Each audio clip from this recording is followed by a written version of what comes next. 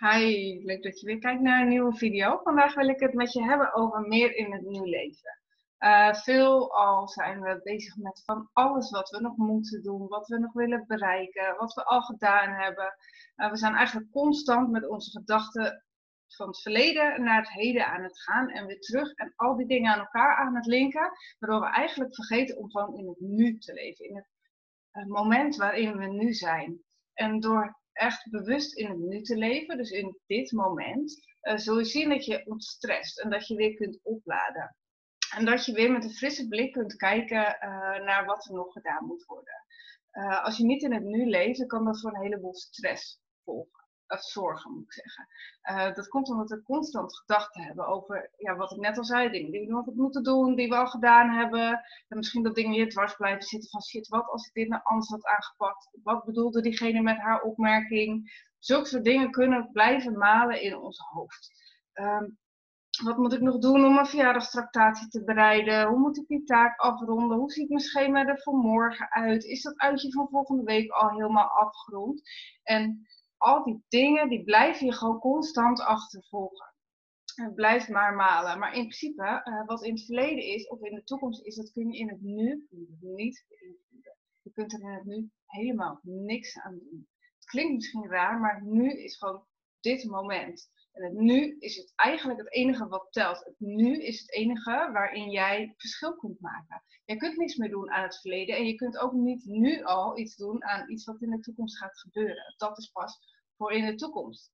Natuurlijk kun je het voorbereiden en dingen doen, maar je leeft nu. Je leeft niet op dat moment. Dus je hoeft je daar ook niet heel veel zorgen om te maken of druk om te maken, want je kunt er op dit moment niks aan veranderen. En je zult zien, als je je wel daar druk over blijft maken, dat je constant uh, um, dat je gedachten constant met je aan de haal gaan, omdat je je identificeert met jouw gedachten.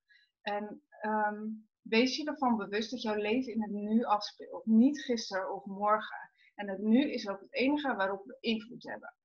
Um, je zult merken dat wanneer je heel bewust in het nu gaat leven, je de stress en de zorgen die je hebt los kunt laten. Want op dit moment is er geen probleem. Er is nu geen uitdaging. Er is nu alleen dit ene moment dat jij kunt gebruiken om aan iets te gaan werken. Om jouw toekomst beter te maken. Om te zorgen dat iets in de toekomst soepeler loopt. Of om een probleem uit het verleden op te lossen. Door bijvoorbeeld een belletje te, plegen en um, met diegene af te stemmen wat het was dat jou dwars zat en waarom je zo gereageerd hebt.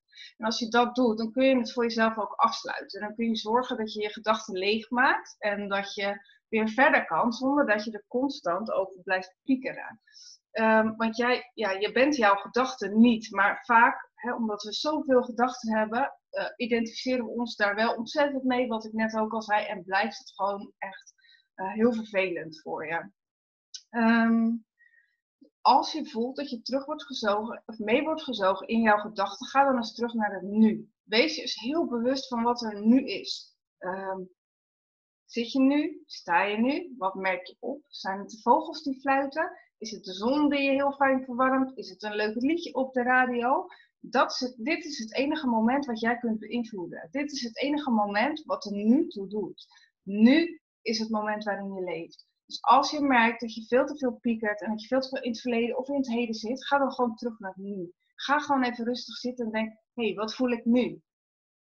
Voel ik tintelingen in mijn vingers? Heb ik het koud? Heb ik het warm? Voel ik een mooi liedje op de radio? Heb ik nu pijn of heb ik nu helemaal niks? Heb ik nu op dit moment zorgen waar ik me echt heel druk om moet maken of juist niet? En door heel bewust daarmee bezig te zijn, zul je zien dat je ook uh, van heel rustig wordt en ontstrest. En dat het je echt helpt om meer in je eigen kracht te gaan staan.